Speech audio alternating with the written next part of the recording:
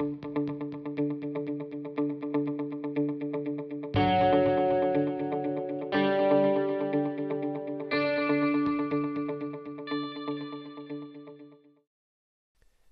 and welcome back to our webcast series on the topic of interpenetration.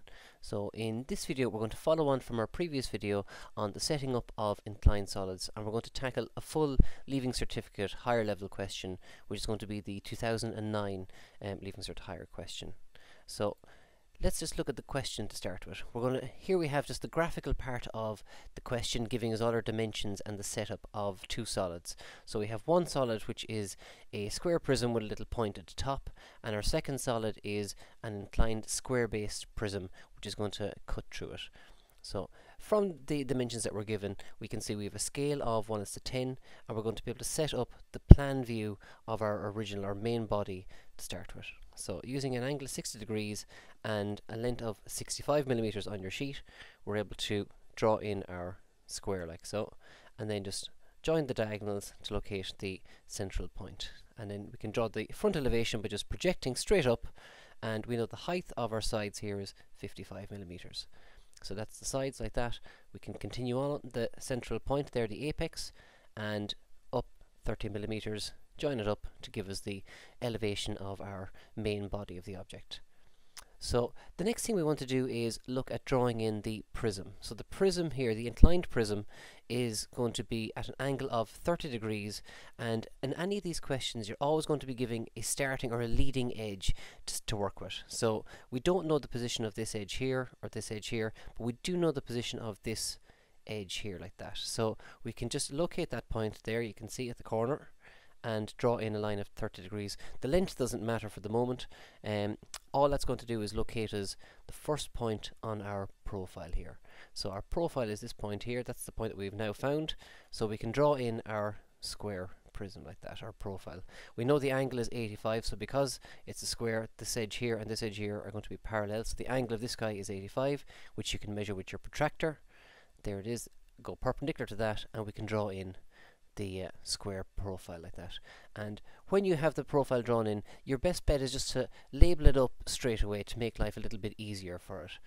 Um, now let's just have a look at what we're doing here, just in 3D as well, just to kind of get across what this profile actually represents.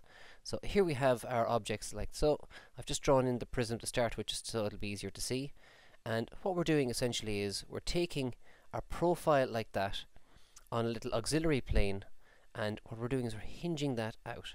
So that's where what we end up seeing here. We end up seeing the hinged out version of our profile. And just if you notice there where each of our edges start and where they finish.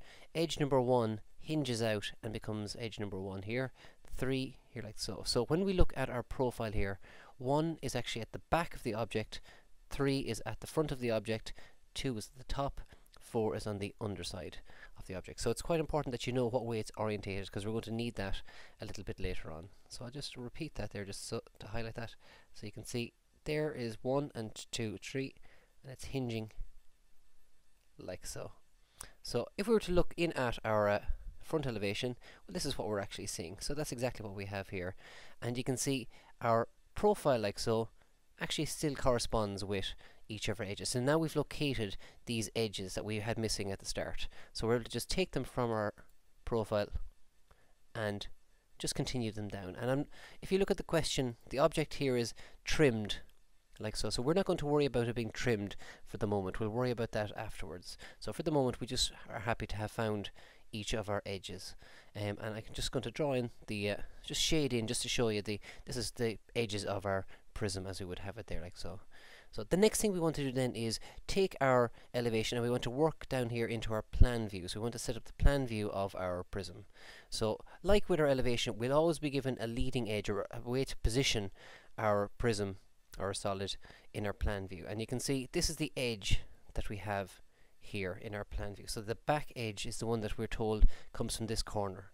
So we can locate the corner and we can draw in our edge like so. And let's just take a look at our object like so. So here we have our object like that and you can see the back point is point number one so that's what we were saying before and you can just see as I rotate it around there's number one and really the main thing the main issue the main problem that we have to solve when it comes to the uh, plan view is well what distance is edge number 2 or edge number 4 or edge number 3 away from that um, leading edge that we start with, edge number 1. So that's what we're going to try and locate. And one of the handy ways to do this is um, maybe just when you get the question at the start, a little tip if I could give you would be try and orientate your your profile here to your plan view on the sheet itself. So if you're given the paper, take the paper and just to start with, draw in a line going through your edge here. So if you know what edge number one in your plan view, draw a line through that like so.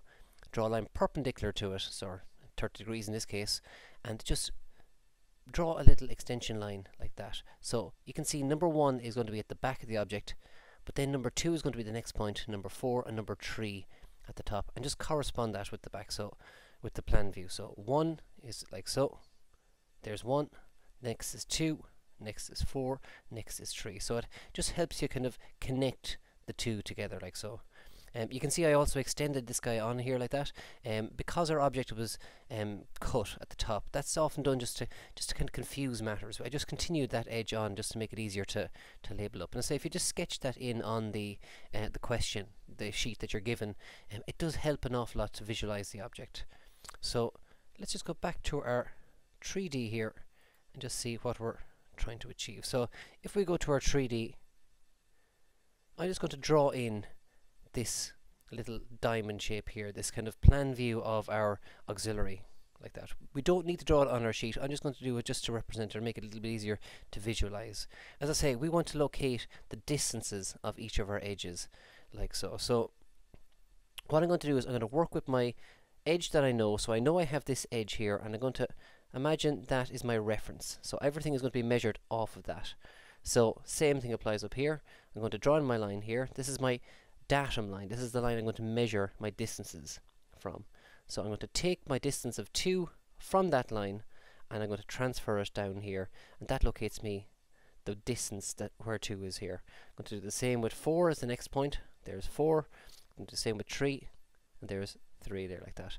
And that's each of my edges drawn in and then I can just project them along like so locating my edges. So I have the depth here in my plan view located and that's probably the hardest um, thing or the thing that catches most students um, being able to work out that one then is followed by two followed by four followed by three um, because that you know that has, imagine you have to imagine it being hinged around so that's our object like so and it's probably just worthwhile at this stage mentioning that well really what we're looking at here is you know transferring an auxiliary up here down to our plan view. And remember, we go 1, 2 rule. So if I wanted to get the measurements for this, say we take the distance of 1 off the xy line here. Like if I measured back here, well that would be the actual distance where my x line would be drawn in. Now we don't usually do that because in the question we're not usually given a specific distance here. We can place the object as far away from the xy or as close to the xy as we like.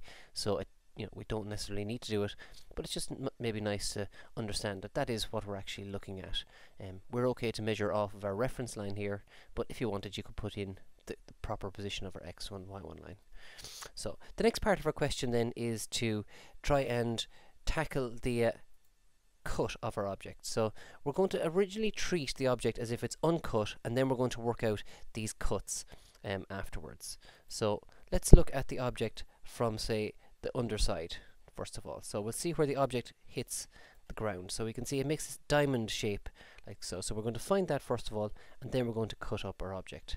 So the way we do that is we take each of our points, so each of our edges, so edge number 2 is going to be just projected down to edge number 2 here. We do the same with edge number 3 and edge number 4 and edge number 1. And that gives us our diamond shape there for our uncut object. Um, so the next thing we want to do is actually slice it up. So you can see if we come out 25 millimeters here, there's our cut, and we can project him down, and that gives us our edge here like that. And that's why we needed to do it uncut first of all, because otherwise we wouldn't have had this line here and this line here. So now we have the the width of this guy here, and we can just fill in then the rest of the object exactly what we have. And you can see I haven't continued him into the point here because that's going to be absorbed into the uh, main body of the solid. So that's our um, base there of our object. Next we're going to do is we're going to take the top portion of our object like so. So I'm going to take my distance across from the apex and there's the location of my cut like so. I'm going to project my point down like so and I'm going to give me my distance there like so I'm going to project my point down here onto 2 to give me the location of this point here. And if you'll notice as well one little last little trick to maybe throw some students is that a common mistake there would be that students would take that edge and join it up to here because it's you know it, it, looks so inviting. But if you look at the question make sure you carefully look at the question. It goes to this point here. So we have to be able to locate where this point is here. And let's just look at the question and see how do we do that? So here's our object. Here's our object cut and if I move myself around you can see well there's the point that I'm trying to find here and that's on this edge here between the edge number one at the back and uh, 2 at the top of the object. So that's the surface that that is actually going to be on. So what we do is we actually continue our point along like so onto the edge number 1 and drop it down. So there it is there. We draw in our line where that crosses here. Now that's our point located. So that's one last little thing just to maybe throw, say, the students to go along. Um, so that's um, one last little point. Um, now, with that, we've pretty much the setup of the question, and at this stage, you've actually passed the question. So you could have met all the little tricks that have been thrown in front of you. Um, the interpenetration or locating the lines of interpenetration I'm going to tackle in the next video because there's two different methods that we can use for it. So I'm going to look at both methods and then so students can pick and choose whichever method they feel the most comfortable with. But uh, we'll just fast forward just to give you an idea of what that would look like. And you can see part of our original main body of our object is absorbed. So that's why I drew it in, in construction. So there is the setup for our 2009 higher level question. There's quite a bit in it but remember this is what we're moving towards. So this is um, I suppose the end game really. Um, as always um, I hope this has been of some help to you and stay tuned for more videos